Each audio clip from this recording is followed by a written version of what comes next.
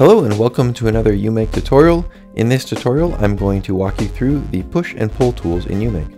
You can see here I have four shapes on the canvas, and three of these shapes are planar surfaces, and the other one is a surface that's a little bit has a little bit more dimension to it. It's a little bit more complex.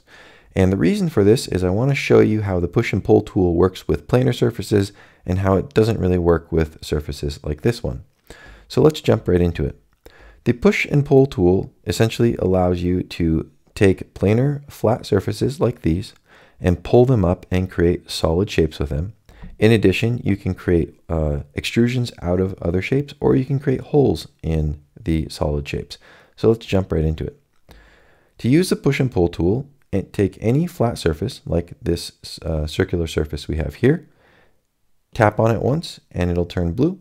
And if you want to pull this surface up, simply tap and drag on the arrow and you'll pull it up and now you have a solid cylindrical shape.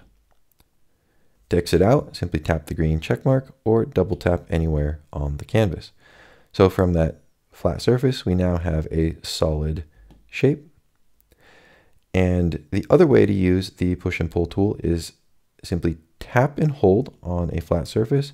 And when it turns blue, you can drag it up you don't have to wait for the arrows to appear. You can just drag it up or drag it down depending on your design. You'll create a solid shape.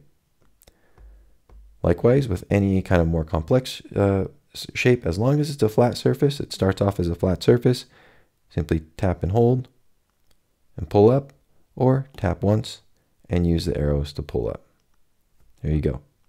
Now you'll see if I try and do the same thing on this shape, we'll get a little message up here that says that uh, you can't uh, draw on non-flat surfaces and you can't uh, pull a non-flat surface as well.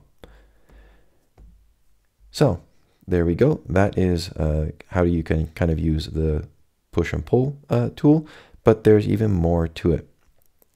So say I want to make a hole in one of these. Well, this is something that uh, up until now has been a little bit tricky in uMake, but now you can do it. If you have any flat surface, so you have the top of the cylinder, which is flat. All the sides of uh, the cube are flat, and the top of this shape are flat. You can draw on them, and any closed shape that you create can essentially be pushed in to create holes, or it can be pulled out to create an extrusion coming out of that shape. So let's do that.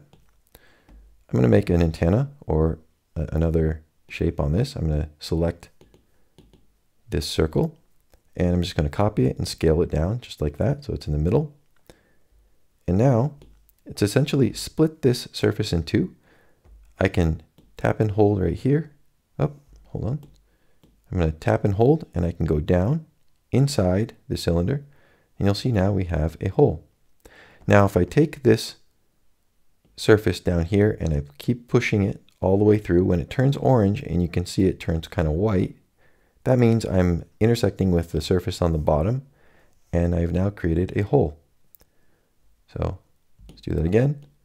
I can just take that, I can pull it out and create an extrusion coming out of it, or I can create a hole in this cylinder, take this, drag it all the way down, and when it snaps, I've now created a hole going through the cylinder.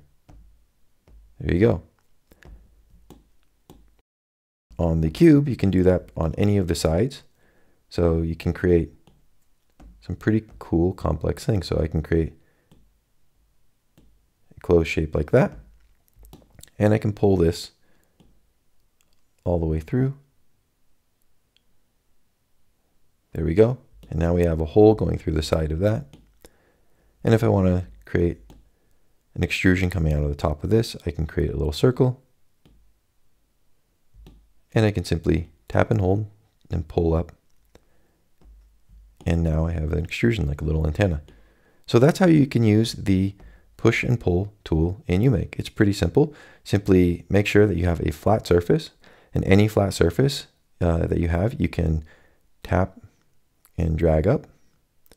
And anytime you draw another shape on that flat surface, you can tap that and pull it up as well or push it in and create a hole.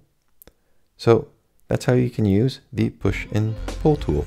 If you have any comments, questions, or feedback for us, definitely let us know. You can find us on YouTube, Facebook, Instagram, and Twitter. We'd love to hear from you, and we'd love to see what you're creating with the push and pull tools in uMake. Take care and have a wonderful day.